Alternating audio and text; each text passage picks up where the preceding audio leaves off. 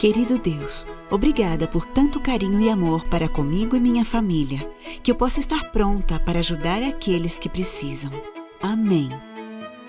Verdade! Eu podia fazer uma limpa no meu guarda-roupas e doar. Aliás, para que esperar?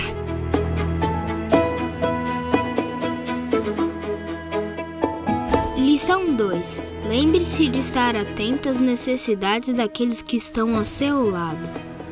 Hoje o Murilo estava tão para baixo. Eu quis fazer ele sorrir. Peguei meu caderno e desenhei tudo o que eu sei que ele curte: carros rápidos, dinossauros e super-heróis.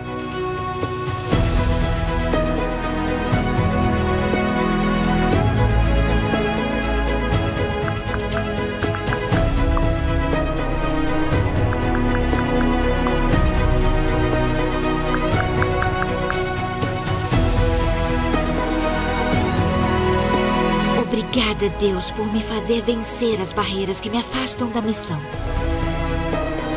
Me abençoe e que eu possa ser luz por onde eu passar.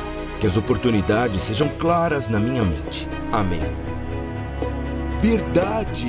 Hoje eu posso fazer o dia do Marcelo melhor. Ele tem passado por dias ruins em seu casamento.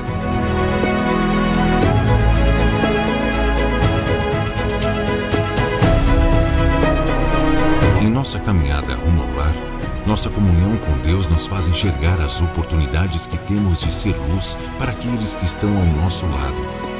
Os dez dias de oração estão chegando e nele nós temos a chance de nos aproximarmos ainda mais de Deus.